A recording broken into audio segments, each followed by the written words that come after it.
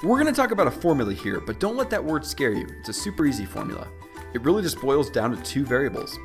So here's what we call the production formula. Visits times production per visit equals total production.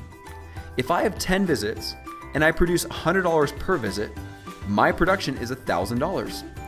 As I increase my visits or increase my production per visit, it'll increase total production. That's it. Those are the only two variables that influence production visits and how much we're producing per visit.